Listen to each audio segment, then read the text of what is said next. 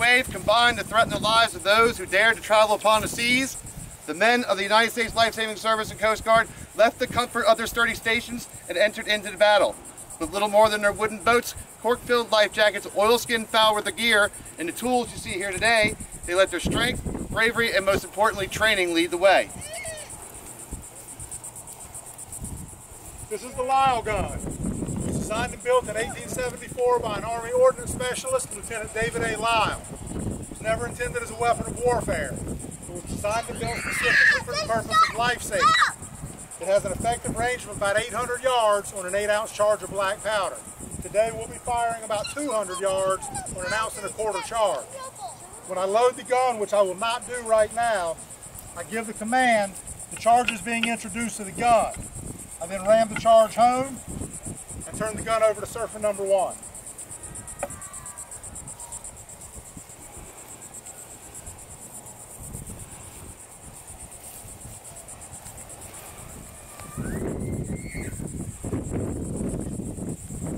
This is the projectile used in the Lyle gun. It was called the shot. It was made from precision machine steel and weighs approximately 18 pounds. Its purpose was carry the first line of rescue from the surfmen on the beach to the survivors on the shipwreck. For the purpose of the beach apparatus drill, the life-saving station had a pole similar to the one you see here. It was called the wreck pole to simulate the ship's mast. Surfman number two.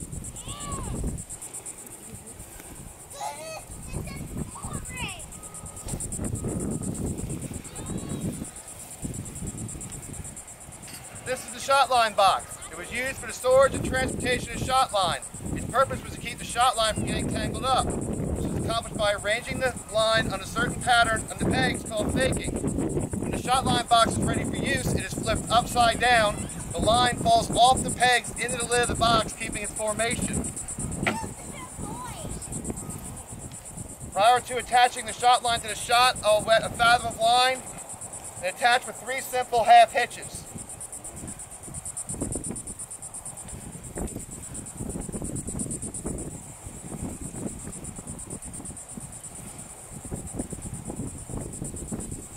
The shot was then carefully loaded into the bore of the Lyle gun. The elevation having already been determined, the gun is then sighted making due allowance for the wind using three simple commands, left, right, and well.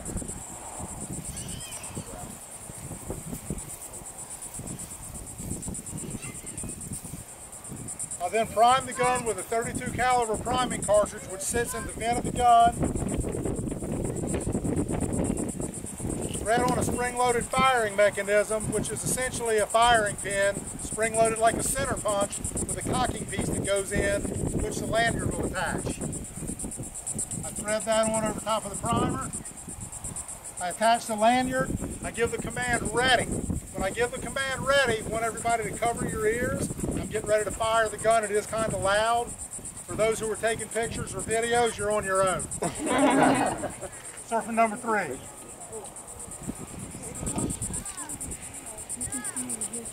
This is called the whip. Pulley, pull one way, goes the other. Used between the ship and the shore, kind of like the grandmother's clothesline. It would send this out, which is the tally board, it's written in English and in French, which was the national the international shipping language. This is the hawser. This is the lifeline of the drill. Is the fall. It's a four to one ratio block and tackle, giving five men the power of 20. All the lines you see out here today are made of manila, a natural fiber from the Philippines. Surfer number five.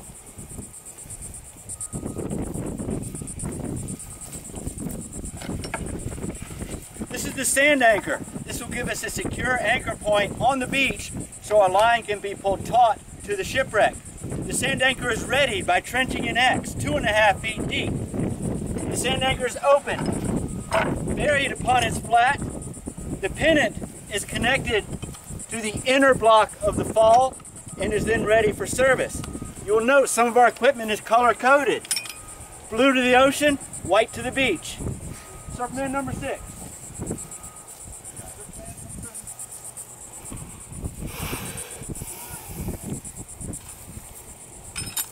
Without surfer number six today, so number two will stand in for you.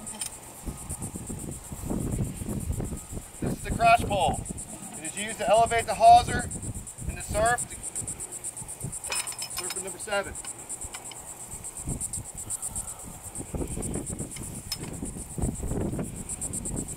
This is the breeches buoy, essentially a pair of shorts sewn into a life ring, attached to the hawser by means of these sister hooks, used to carry the victims back to shore. This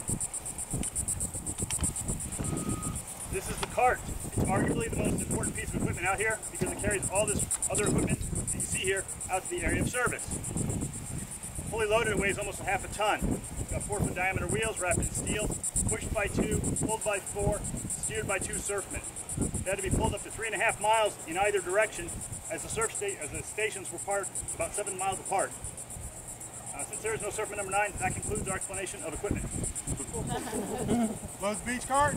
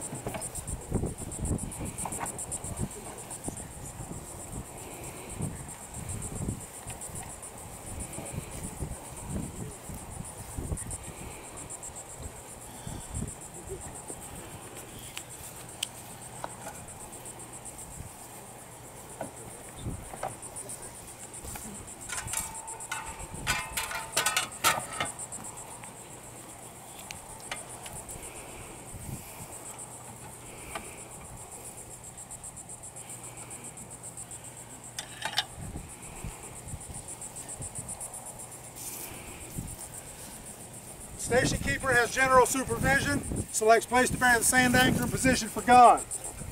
Places the gun in position, provides cartridge, primers, and lanyard, loads and sights the gun and determines the elevation, pricks the cartridge, primes and fires the gun, signals wreck to haul off whip, lights hawser to surf, bends whip around neck of buoy block, bends buoy rider to whip, and raises the center of the crotch pole. Surfer number one. Surfman number one, assist keeper to place gun in position. Provide shot for number two to bend shot line to. Insert shot in bore. Trains gun.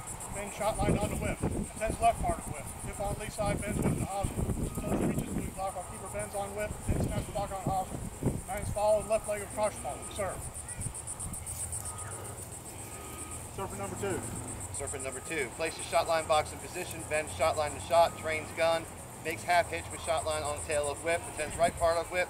If on lee side, bends with the hawser, holds breeches buoy block while keeper bends on whip, snaps block on hawser, man's fall on right leg of crotch pole, surf. Surfer number three. Surfer number three, place shot line plate, place shot line box in position, move whip, place on the other side, move hawser, place on lee side. Man the fall, man the crotch, shifting man on whip, serve. Surfer number four. Server number four. Unload booms and cart. Place buoy hawser in cross position. Tackle. Hook interlock the sand anchor pennant. All reels will being hauled off to the wreck and side the same hauled off. Hook outer block tackle. Regular crotch. Number five. Surfman number five, assistant bearing sand anchor. Man weather part of whip when hauling off hawser. Haul and slack of hawser. Hook inner block the sand anchor pennant. Man and belay fall. And shifting man on whip. Sir. Surfer number seven. Surfer number seven. In drill, man's wreck pole. In service, unload shovels and pick. Assistant bearing sand anchor. Man weather part of whip while hauling off hawser. Haul and slack of hawser. Uh, shifting man on whip, sir. Surfer number eight. Surfer number eight, in drill goes to wreck pole. In service, unload pick and shovel assistant bearing sand anchor. Man's weather side of whip while hauling on hawser. Hauls in slack on hawser. Man's fallen center of crotch is shifting man on whip, sir. Man the beach cart.